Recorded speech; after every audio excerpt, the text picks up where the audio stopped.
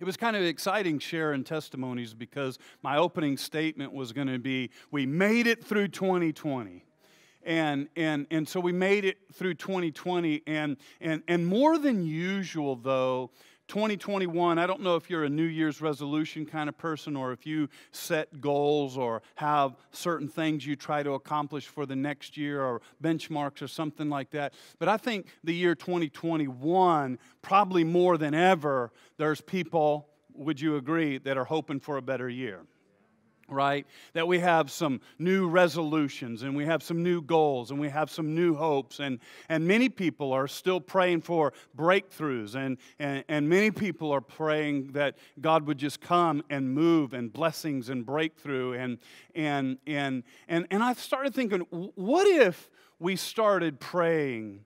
What if we could guarantee that the prayers that we are praying would get answered? Wow.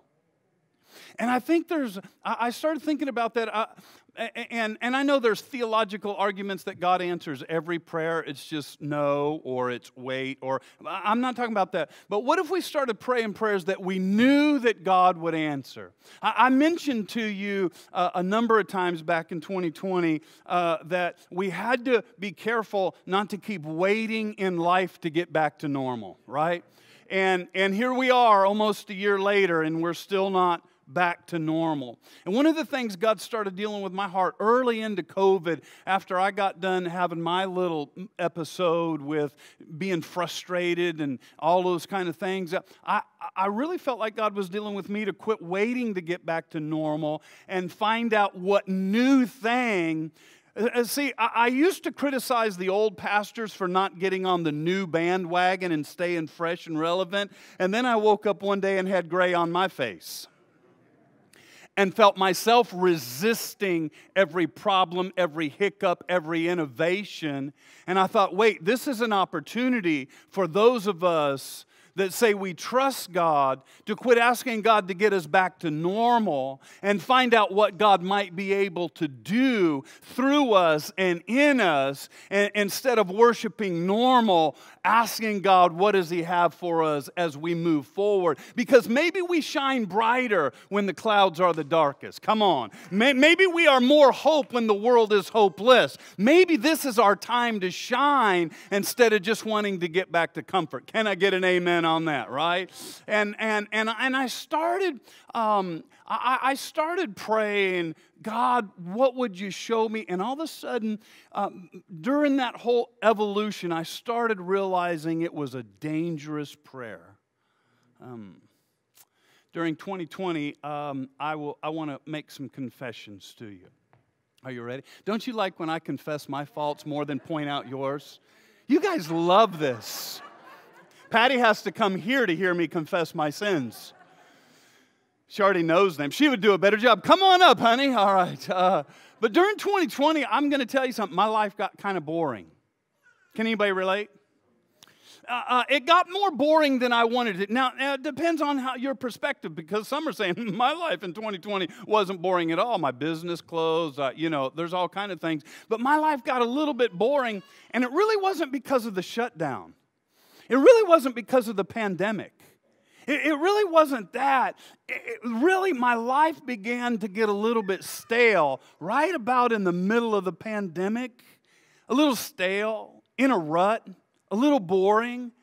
And it would have been easy for me to point at a pandemic and blame the pandemic, or to blame a person, ah, or a politician. Come on, somebody. It would have been really easy for me to blame something else, but besides all of those, it really was about a mindset.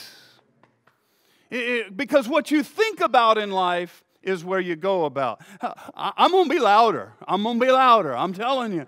All right, I'm gonna be louder. And and and what happened is I started praying, and and, and it was easy for me to pray. I start I fell into this category, and I know none of you did this because you're you're you're spiritually on fire. But I started praying prayers without even realizing it. And just slowly and gradually, Lord, keep me healthy. Lord, keep me and my family safe. Lord, bless us in this time. Lord, help us to make all ends meet. And see, that sounds good, doesn't it? But it becomes routine.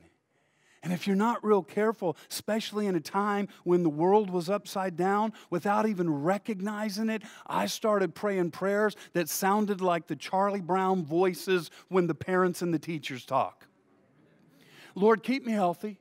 Lord, please keep me safe. Nothing wrong with those prayers unless it's the only thing you're praying. Lord, keep me healthy. Lord, keep me safe. Lord, bless my family. Blah, blah, blah, blah, blah, blah, blah. And I'm confessing to you that my prayers became a little bit pathetic. And the reason I say that is because without even realizing it, the pandemic made me start praying things that all of us prayed. And it's okay that we prayed unless it's the only thing that we prayed because the prayers became very selfish. They became very focused on me, myself, and my family. And all of a sudden, instead of praying for a community and a world, come on, somebody, I started praying for me and my own. Uh, I know you guys didn't do that, but you always come here to hear about my sin. So let me keep on going. See, I'm going to admit to you that, that the theme, the dominant theme in my prayers became self and self perseverance and self comfort. And help me get through it, Lord, and comfort me. And, and, and when I did that, when my prayers stopped being about the world and the hurting, and let's just survive, I'm going to tell you how I felt. I'm not putting this on you, but this is how I felt. I felt that my prayers were becoming pathetic. And I wondered, I wondered if there was an a, a, equation to my life was boring, and I wonder if my life was boring because my prayers were boring. Ah. I, I, just wonder. Come on, don't leave me up here like all by myself, like you guys didn't do anything wrong during the pandemic. I, I know the theological debate, this is impossible, but go with the illustration. I wonder if God was becoming bored with my prayers because I was praying boring and my life was boring. I know God doesn't get tired, but I could almost imagine God in heaven waiting to meet with me in the mornings and I'm asking Him to bless my cornflakes. I know he doesn't get tired, but I could almost imagine is God yawning? Lord, please bless me. God, give us traveling mercies. Lord, be with us as we sleep. Lord, bless my burger and fries. Come on now. I know none of you have done that, so let me counsel my way through this. I, for one, have decided I'm not going to fall in that rut again. I, for one, have decided that 2021, no matter what it looks like economically, no matter what it looks like politically, no matter what it looks like pandemically, no matter what it looks like anywhere else, I've decided me and God, we're going to get dangerous. Come on, everybody. We're going to get down to some business. And I, I, am filled with dangerous prayers. And, and if you're going to pray dangerous prayers, you got to be willing to do some amazing things. And I don't want to just get by because this could have been the end of my life. And I don't want the end of my life just to be, well, I survived. I got through it. I paid all my bills. Come on. I want to live dangerous. Is anybody hearing what I'm saying today? It's going to require, I, I want to do something great for God. And, and, and I want to I want to bless people. And I want to help people. And I want Radius Church not just to survive, but make an impact in people's lives. And that's going to take some dangerous prayers. Now, I realize already this message isn't for everybody, and you're like, wow, what a great time for me to come. My life was dangerous. I'm glad yours was boring. You want to trade?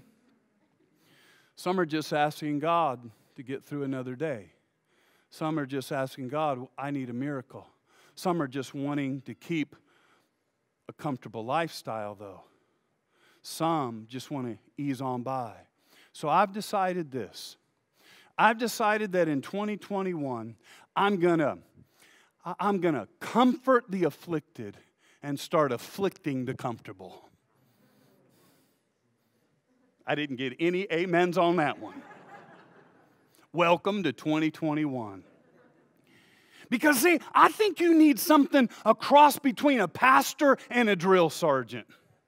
I, I think you need somewhere between a preacher and a cheerleader. I think when you need to be comforted, there needs to be somebody there to comfort you. But when you get too comfortable, you need somebody there to tell you to get up and start living dangerously. Because if God is for us, then He is more than the world is against us. Come on now. What if we started praying? What if we started praying crazy prayers like they did in the Old Testament? God, would this be the year you would tear down some walls? God, would this be the year that some red seas would open up? God, would this be the year that the mouths of hungry lions that want to devour me would be closed? God, would this be the years that the giants are slain and the mountains are moved? God, this is the year we need a move. Come on, is anybody hearing that? Doesn't that sound like something that would get the attention of God more than bless my burger and fries? Yeah, yeah, yeah. God is calling us to a life of faith. God's not calling us to a life of comfort. Where did we get the mindset that following God was about being comfortable? Instead of coming to Him for a safer, easier, stress free lifestyle, maybe God wants to hear, God, help me love others more than I love myself. God, maybe help me to see people the way you see people. Let me see people that are in need and what I can do to be a part of the solution instead of part of the problem. God, the things I complain about, maybe those are the things I ought to be doing something about. Uh, instead of indulging in my daily desires, maybe it's time to deny them for something eternal. I know right now, many are ready to tune me out. Some have already walked away from your computer. Sit back down. but you can tune me out and be right here live because this isn't what I want. I have found that the greatest way to be a bless, to be blessed in life is to be a blessing somewhere else. And the stories that I sit and talk about with my kids and now my granddaughter, the stories that I share over my life are always, when I look back, they're the most miraculous, they're the most God life giving, but they were probably the most stressful. They were probably the most tiring. They were probably the ones that required faith more than any other time. Are you glad you came tonight? If you want your life to mean something, if you're tired of praying prayers over just simplicity and Lord, just be with me today, if you're tired of the rut you're in, and, the, and, and, and if you're tired of stale, boring, flat, predictable Christianity, then let's get dangerous. Let's get dangerous. I said, let's get dangerous. Type it in the chat. I'm ready to get dangerous. How about we really start being the church? And I'm going to tell you, I've been just as guilty. I mean, this church is a baby, and we were clicking on all cylinders, and then this crazy pandemic happened, and a lot of things that we've been doing that outline how we get from point A to point B. Some of them things have been hindered, but the church of Jesus Christ continues to move forward, and there's innovation in the house, and there's creativity in the house. The needs have not gone down, the needs have gone up. And so, God is a creative God. So there's creativity in this house that if we would tap into it instead of just trying to get through another day, maybe it's time we started our own food bank. Maybe it's time we start collecting blankets and jackets. Maybe it's time, if nothing else, maybe we could just start the biggest sock collection in all of Mount Vernon.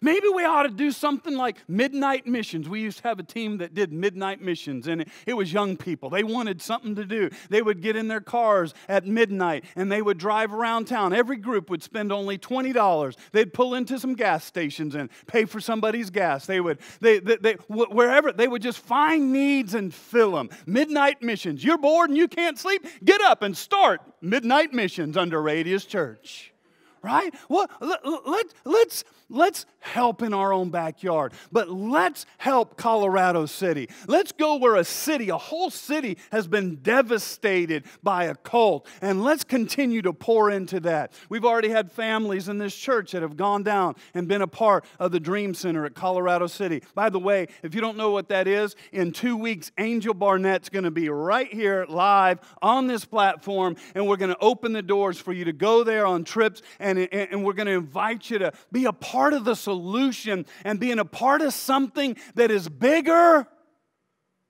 than my bowl of cornflakes, bigger than myself, bigger than, oh, I just hope I survive. That doesn't, the devil is not scared one bit of a Christian just trying to survive. And you say, yeah, but I need to be ministered to. The best way to get ministry to you is to get ministry through you. Right? I like that little phrase. Jot that down for me, somebody. I kind of like that one, huh? Uh, let's keep on, Ernesto and Valerie let's just keep on going out on Saturdays while we're helping in other places. Let's just keep on doing those things. Let, let, let's just keep reaching our community. Let's keep giving goodie bags and let's keep giving raincoats and let's keep buying tarps and let's keep doing all of those things. In fact, hey, everybody, there's a mission field that we've never considered before. It's called the digital mission field yeah, you know what? While we're doing live services, we need some people get on some computers and start talking to those that are watching live. Start fielding prayer requests and praying with them with your fingers. Our fingers have done enough work on the bad side in social media. I know your thumbs work. Hmm. How about we love the unlovable? Let's forget about getting back to normal. Let, let, let's find creative ways to help. And you know what? If we start praying, God, show us what we ought to do, God will. I said, God will. Because God's waiting for somebody to pray a dangerous prayer. He's waiting for somebody that'll quit praying, oh God, just help me get through. And somebody that knows enough and has enough faith and believes God is the God of the Bible that can go minister to somebody that has no idea. What if, what if that's what we started doing? God will just keep blessing if that's what we start doing. And, and here's something for you let's stop waiting on the pastor to have all the ideas. Because the church is, should not be limited to my limited creativity. You know why Saturday works? You know why the Saturday Serve group works? Because I didn't birth it. I didn't come up with it. I don't organize it. I don't administer it. I don't send the email. Somebody, somebody else had a passion for it, and somebody else is doing it. And if you're waiting for the pastor to tell you what God's calling is on your life, you'll be waiting until he comes again. I'm not that good. I don't even know what my calling is half the time. I'm trying to figure out how to lead through a pandemic. I don't know what God's will is for your life, but I promise you, He'll tell you. See, we got this wrong idea, and I've talked about this a lot, and I won't go into it. But we think, and especially if you grew up in church, you think that the pastor is the main visionary, and everyone else is here to serve the pastor's vision. That is not how we run Radius. This pastor is here to serve you. And I serve you by creating a life giving atmosphere and building, an and building a platform that you can use to do what God has put on your heart. That changes the whole dynamic of what church looks like. People ask me all the time, when are we gonna? I don't know. When are you gonna start it? Well, when are we gonna? When's the dream team come? I don't know. What is God saying to you? Let me show you how easy it is. Everybody raise your right hands. Everybody raise your right hand. I now deputize all of you. See how that works? I don't have a special power, everybody. God can use you in just as a dynamic way that somebody that's in full time ministry. I'm the communicator. That's all I am. I'm just here to lead and create a life giving atmosphere so that you can excel in the things that God has put on your heart.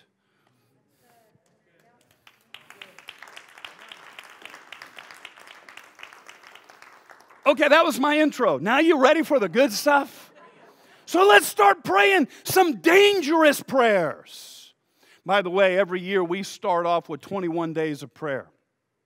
And the way we've done it in the past is we've, we've had either digital prayer devotionals that we give you every single day that you can go on to social media, and one of our team members, Mark, Janessa, Jake, myself, we, we'll do a devotional and a guide into prayer. And we were going to go through the, uh, the, the, the deal of doing that again. But over the last couple years, we've noticed that only about 10% of everybody that calls Radius their church even tap into that. So that's not the best use of our time. So I thought, thought Lord, okay, Lord, then I'm, I'm just going to map it out. And those that want to live dangerously, you can follow the bouncing ball. So I hereby this weekend launch 21 days of prayer. I'm going to give you over the next few weeks, I'm going to give you three of the most dangerous prayers ever prayed in Scripture.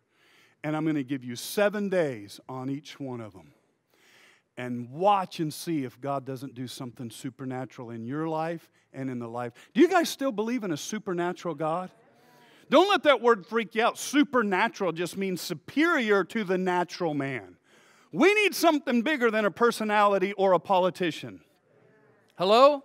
Yeah, yeah. Okay, so, and we're going to culminate it. I know, I know, I know, I know. If this makes you uncomfortable, you don't have to come. But we're going to culminate on January 31st, which is a Sunday at 5 o'clock right here for an all church prayer meeting again. And yes, you might have to wear a mask, but guess what? God can hear you through your mask. And we'll just, it, it'll be an open house again. You can come for five minutes, you can come for an hour. We'll have communion, we'll have prayer, we'll have prayer guides, and all those kind of things. Here's dangerous prayer number one. You guys ready? Dangerous prayer number one search me. Woo-wee. I'm so glad I came to church today. I hate when Pastor Ken gets two weeks off because he gets loaded up. Search me. I double dog dare you to start this year by asking God to search you. Watch what happened to David. Psalms chapter 139. Check this out. Search me, God. You changed the color of my letters. I'm always used to telling people if they're in red, okay, here they are. They're in fuchsia this year because it's a dangerous year, so let's use a dangerous color. What? It matches the yellow. Oh, okay, yes. Your son is applauding you right now. Okay. I knew that too. I just wanted to make fun of you a little bit. Okay, so here we go. Search me, God, and know my heart. Watch the four statements. Test me and know my anxious thoughts. See if there be any offensive way. Wait a minute, Ken, we're supposed to be done with that series. See if there's any offensive way in me and lead me into the way of the everlasting. This is a dangerous prayer. And before you start praying it, I want you to ask yourself a question. When did we as Christians decide that following Jesus and being a Christian, the goal of being a Christian was to arrive safely in heaven?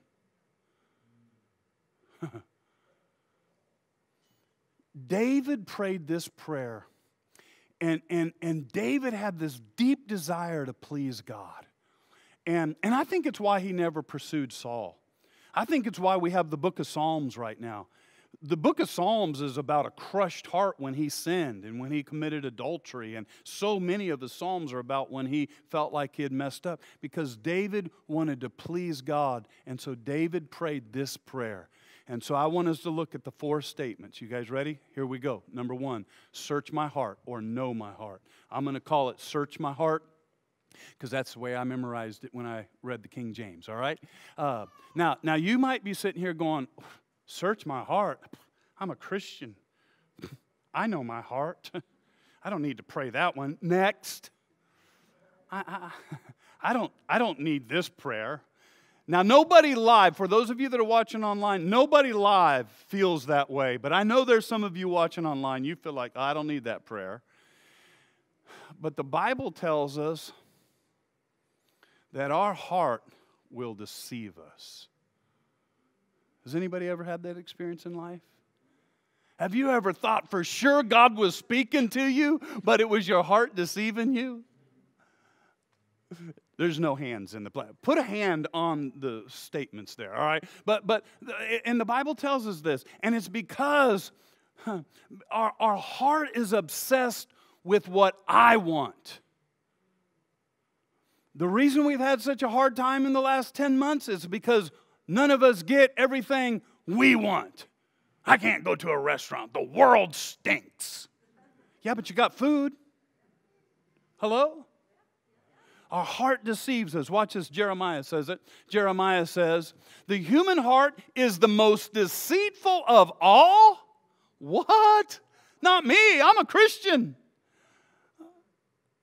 I read my Bible every day and I sing Christian songs and I got a Christian bumper sticker on my car. My heart is not deceitful. No way.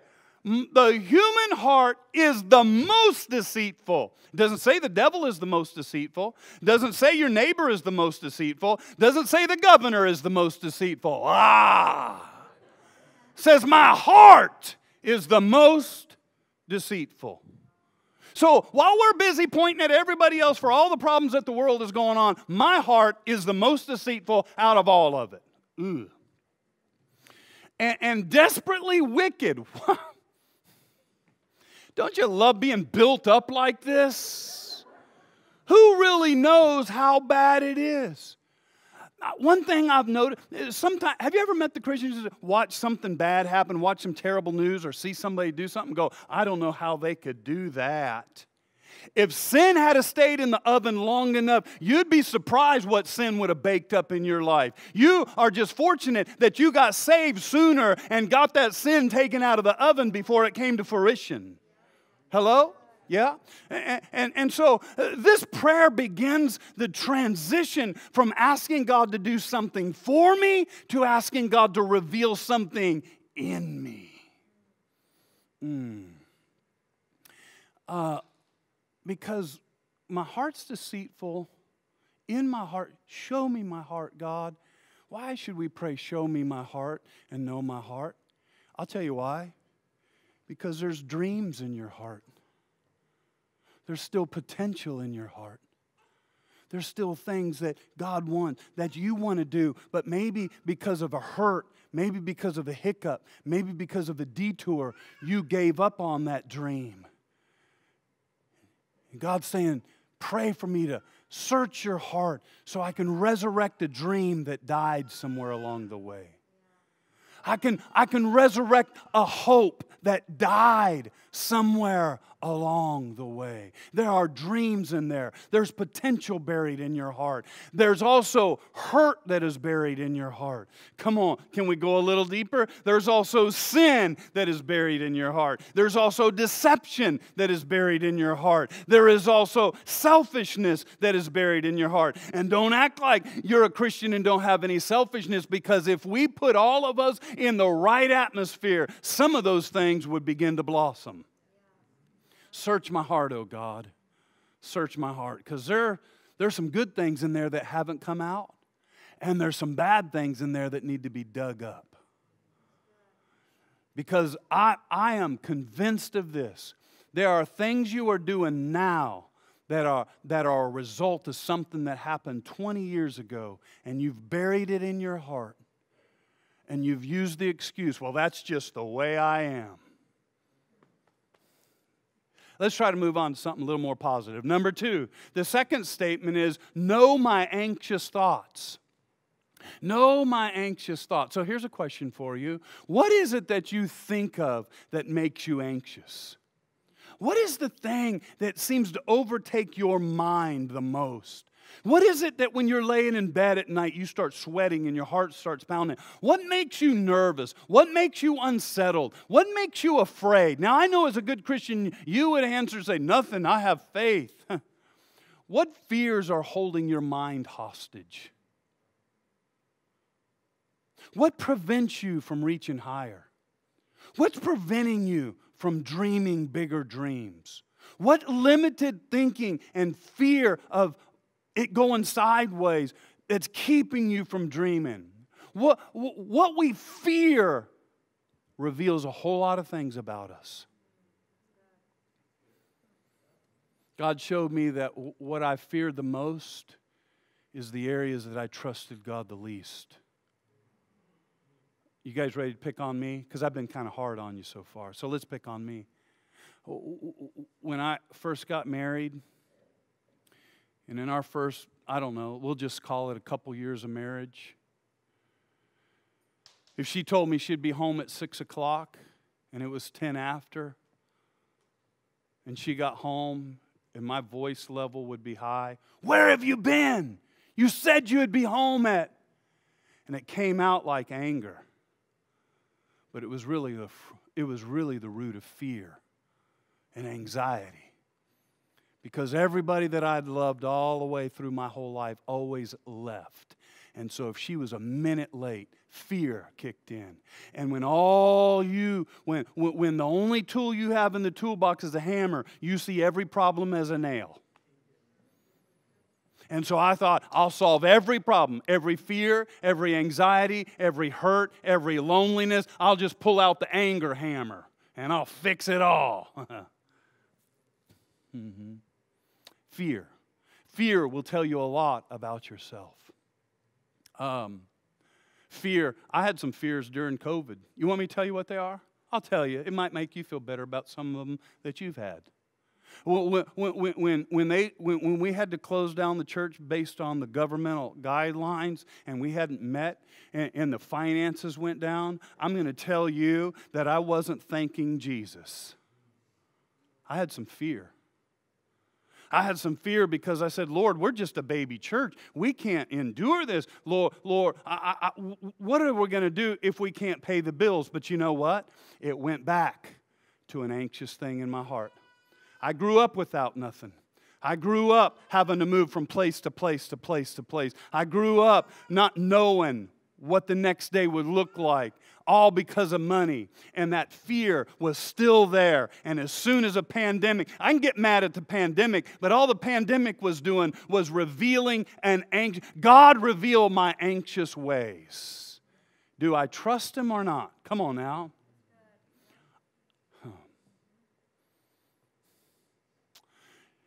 Your fear, your greatest fear, might be trying to point you in the direction that your life will have the greatest impact. Let me show you an example the best I can. I was going to call somebody up here, but I, I, I won't because I don't have a mask on. Okay? But let's just imagine, let's just pretend, Mark, you're standing right here, and, and we're going to label you prob, we're, we're going to label you fear. Okay, so Mark's standing right in the middle of this road. Here he is. He's taller than me. He has, has a farther reach than me, and and and he has more hair than me too. And so here he is. Barely, but anyway, here he is. So here's Mark, and and and he represents fear. And so I'm I'm along my life's 2021. I got new goals, and uh oh, there's something that's fearful. So typically, what we do is take the road of the least resistant. So we turn, and let's just go another way. Let's get busy doing little things instead of the thing. Notice there's no fear over here because you're not going the way you ought to be going. Oh, oh, so I'm going to go this way, and there's no fear over here. So maybe the fear is pointing you because otherwise the devil wouldn't be using fear to keep you from going that way. See, right on the other side of the fear could be the greatest breakthrough you've ever had in your life. But you keep turning to the right and to the left. God, know my anxious thoughts. Show me where fear is hindering me. Show me where the anxiety and the fear that I pretend I don't have is keeping me from all that you have for me in life. Write this down or take a picture of this statement here. It says, The pathway to your greatest accomplishments might be straight through your greatest fear. I didn't want to start Radius Church. I was scared to death to start Radius Church. I ran from God trying to start Radius Church. I interviewed at churches all over the place. And the truth of the matter is, watch this the pathway to your greatest accomplishment what God is going to do here and is been, has been doing and is going to continue to do in this valley through Radius Church might be one of the greatest accomplishments in this area, but I had to walk straight into fear to do it. Now, I can talk about it now like I'm raw, but that ain't how I looked when I was facing it. Right? See, faith does not mean that you don't have fear. I am so sick and tired of hearing all the faith over fear. That's great. You should have faith over fear. But it's faith over fear, not faith over nothing. See, the difference is, the difference is, is fear might still be in your car. Just don't let fear drive the car. Fear, every once in a while, I look in my rearview mirror and, oh, there's fear sitting in the back seat reminding me why I'm living bigger than my talent level, bigger than my education level. Come on. Fear is still there telling me, uh oh, you're not going to make it another year. Come on. Does anybody relate to this? Yeah, and that's okay, fear. You can stay there. You, it's all right. Just sit yourself in the back seat because faith is in control of this vehicle. Right? I don't know I need faith. I don't even know I need faith until there's some fear. Okay, um, so uh, let me clear that up. Faith doesn't mean I don't have fear, faith means I do it anyway. Fear, fear might reveal where you need to grow the most in your faith. I needed to grow in the area of does God supply all my needs or not? Am I building the church or is He? Can we go on? Let's go to number three. Number three, here's the third statement Know my offensive ways. Aren't you glad now we're going to deal with all the sinners? Don't you love this? We just finished a series on not being offended. Ken, why are you bringing it back up? Because what we didn't talk about is when you are the one that's doing the offending. We talked about how to keep others from offending us. yeah, but there's another side of the same coin. What if you're the problem? What if you're the offensive one? Perish the thought. David was asking, Show me the things that I'm doing, God, that hurts your heart. Show me the things that I'm doing that are offending other people. You know, mm, I shouldn't do it. Anybody watch the news this week? There's some people doing some crazy stuff under the flag of Christianity. Here's one thing I know they didn't pray a dangerous prayer. If they would have stopped and prayed, Father, show me the offensive ways in me, I promise you there would be some things that didn't happen under the umbrella of Christianity. Can I get an amen on that one, everybody? Mm hmm. You can be offensive throwing around Scripture. You can be offensive quoting Scripture and telling people Jesus loves them. But you can do it in an offensive way. How many know what I'm talking about, right? Um, uh, let's see, where do I want to go from here after I said all that? Um, let, us make this commitment. In fact, put this on there. I want everybody to see this. Don't be good at accusing others and excusing yourself. I know none of you are like that, but I've had that problem from time to time. See, when I'm driving slow on Highway 5, I'm enjoying the Sabbath and enjoying the sights of God. When other people are driving slow on Highway 5, they're morons. Right? Come on. See, thank you for helping me. You know what I'm saying? And so we're good at accusing others and excusing me. I want everybody to excuse when I do something wrong. But the moment you do, I couldn't believe they did that. Right? Okay. Um, here's some things to consider. If you really want to know if, if you have some offensive ways in you, let me give you these three side notes really quick, okay? Here's the, here's the side one. I don't know how, I got one minute left, but we're going to go over. Okay. It's a new year. Why change things? Okay, here we go. What have others repeatedly told me? Here's something I've learned that I don't like, and you're not going to like it either. If more than one person has told me the same thing, then maybe it's offensive. Where two or three are, okay, all right, yeah. Huh? You ever seen that person get on American Idol and say, I'm going to be the next American Idol, and they can't carry a tune in a bucket and they're embarrassing their family? Here's what I know they didn't listen to nobody, they didn't have anybody tell them something. Grandma told them they could sound, sing good, and grandma lied because she can't hear, right? but if you would do life with somebody, you might save yourself some offensive ways. Pants on the ground. You know what I'm saying? Okay, so if for those of you that remember that song. Proverbs.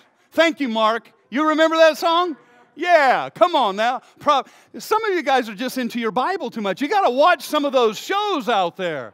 Proverbs chapter number 12, verse number 15. The way of the fool seems right to them, that the wise listen to advice. I need some advice. That's why it's great to do life together.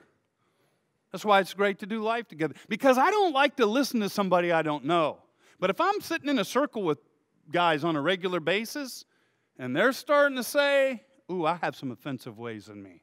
All right? Um, okay, let's let, uh, uh, I used to rationalize my, my rudeness. And, and I, I would rationalize my rudeness and my shortness because I was a get it done kind of a person. And I'd get things done, but I was rude and I'd get things done. It's like, you know, don't tell me about the birthing pains, just show me the baby, you know? But it's like, come on, right? And so I'd rationalize why I was that way. Are you rationalizing? Okay. What, what, what else do I got? Uh, do I have another one under this? Uh, what, what am I defensive about? Okay. Uh, yeah. So, what am I defensive about? Uh, um, boy, let's see. Um, let me give you this. I, I want to hurry up. Here, here's just some things. You might want to get your phones and take a picture of this because I'm going to do them fast. Here's how to know if you're being defensive. Be, or here's how to overcome it. Be secure in who you are. Get to the place where you have nothing left to hide and nothing left to prove. After people have lied about you so much, I don't have anything else to prove. Right? What else? Uh, stop retaliating and genuinely listen. Say I, oh, this is good. Say I instead of you. So, in other words, when you're defensive, well, you always make me, and you never get home on time, and you always, no, no, no, no, no, no, no. That's defensive. I feel I'm insufficient. I need to grow. I own these things. What else we got? Uh, know that it's okay to be wrong. Everybody else knows you're wrong. Your kids know you're wrong. Everybody in your life group knows you're wrong. Everybody knows you're wrong. What are you marrying him for? Mama told you not to marry him. Pastor told you not to marry him. Best friend told you not to marry him. You're wrong. Okay? No, it's okay to be wrong. Letter E, remember, you will never improve without some correction in your life. Do you really want to get better? Then have some people speaking into your life so you can figure out the offensive ways. Okay? Um, uh, do I, did I have any others? Uh, I, I, feel like I missed one. Lead me into. Uh, uh can we? I, I know I'm going to mess you up. Know my offensive ways. Can you go back to that? Uh, am I messing you up too bad? Because I thought I had three of those. Did I do three of them, or did I only do two? Uh, know my offensive ways. Follow with me now. Go to the next one. Know my offensive ways. Don't be good. Uh, uh, don't be good at accusing others and excusing me. No. Okay, never mind. Let's go on. Uh, number four. Let me give you the last point of that prayer in Psalms chapter one thirty nine. Lead me in the way of everlasting. This is a dangerous prayer. So you got all four. Here they are. Lead me in the way of everlasting. That is a really dangerous prayer. Um, each phrase of this prayer is really important, but it's incomplete without this one. You can search my heart, God, and you can find out if there's any fear in me, God. And you, you, you can find out if there's any anxious or, or, or offensive ways in me. But if it doesn't ultimately lead me into the way of everlasting, it doesn't matter. Did you hear that? It doesn't matter if God reveals something to me if it doesn't lead me into an eternal relationship with Him. Lead me in the way of everlasting. And uh, uh, let me paraphrase this and put it in perspective. Lead me into your will, guide me into your purpose, show me your potential that you have for me in my life. What would you have me to do, God, that has eternal everlasting value. God, thank you for my job. It pays the bill and it puts food on the table. But what would you have me to do that has eternal and everlasting value? Wow, that's a dangerous prayer. I'll close with this. I, I started praying in 2011. Uh, I started praying without calling it a dangerous prayer. I started praying this prayer Search me and lead me and you would think by now I would know God's will for my life, but it's still something I still pray. God, show me your will for my life. God, show me your will for the church. God, help me. Show me your will. Guide me into the everlasting. Um, and, and when I started praying this prayer in 2011, God started showing me that I was doing a lot of right things for wrong reasons. Many of you have heard me talk about one of my past ministry experiences uh, 136 ministries, giant campus, 13 buildings, 250,000 square feet of facilities, all of that. And when I started saying, Search me, God, all that looked good on the outside, but I began to realize I was doing all of the right things because I desperately needed somebody to think I was good. Because I desperately wanted to be approved of. Because I desperately wanted God to love me. So I was doing a lot of right things for wrong reasons. And you won't find some of those things out until you start saying, Lord, search me. Find out what's going on in my heart. Father, show me the anxious ways. What, what could I be doing that has eternal value, but fear is keeping me from it? The fear of a pandemic, the fear of loving again and being abandoned again, the fear of trying again, the fear of whatever it could, might be. In 2014, Lord, show me your will. God, guide me into the everlasting. As I've already stated, God will answer that prayer. I remember interviewing at a church in Oklahoma, and I thought for sure, man, that's where I'd like to go. Janessa and I drove by there on our way to California. I looked at the church, big old building, completely paid for, offered me a great salary. You know, when you're almost 50, how many know a salary is a pretty good thing, right? And, and, and but if you start praying, lead me into the way of everlasting, God has a way of closing doors and opening doors. Lead me into the way of the everlasting. There was a season there we thought we were going to take a church in California. I was on the phone interviewing. It was great. We did the we did the video Zoom before the pandemic and had a great interview.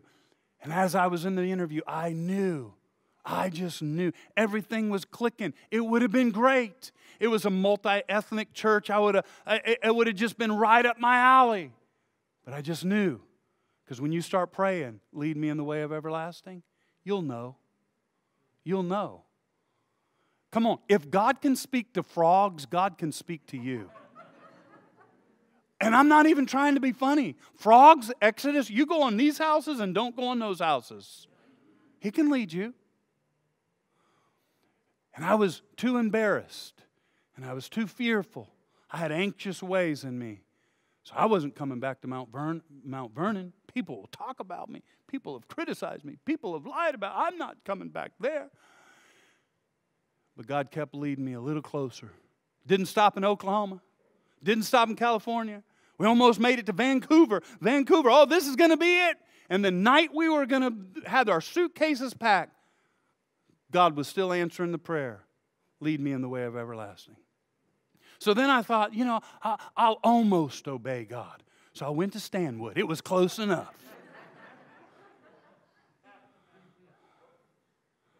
We were over there for a year. Uh, this seriously. We were there for about a year, and all the while,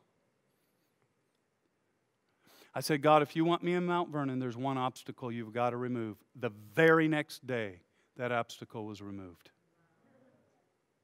Tommy Barnett came into town, and I said, Pastor Tommy, I'm embarrassed to go back there because just four years ago I left. Pastor Tommy you know, and I told him my sob story. Because, you know, the sadder you make it, the more you have permission not to do what God has called you to do. He looked across the table. We were eating over in one of the Mexican restaurants. He looked across the table at me. He said, You know, Ken, he said, You remind me a little bit of my dad. See, my dad was pastoring a great little church in a little town, just a small little town, not a metropolitan town, in a little town in Texas. His dad was known for starting the Saturday Sunday school and the bus ministries as we've got to know them in America. He said he got in a disagreement with the board. And they fought and argued. And he said, Fine. He said, We'll take a vote. And if I don't get 100%, I'm leaving. And he didn't get a 100% vote. I don't even think Jesus got a 100% vote. How many know what I'm saying, right? And he left. And about three years later, that board went and found him preaching an old fashioned revival. And they begged him to come back. Pastor Tommy's dad agreed to go back. And he heard God say to him that night, the verse in Haggai, chapter number 2, verse number 9. He said that your latter days will be more productive than your former days. And he looked across the table and said, Ken, you ought to go start that church in Mount Vernon. You ought to just get over there because I believe that same anointing is on your life. You see, when you start praying, God, lead me into the everlasting, God will lead you into the everlasting. Amen, everybody? Will you receive that tonight? I'm going to end right there. I'm going to stop right there.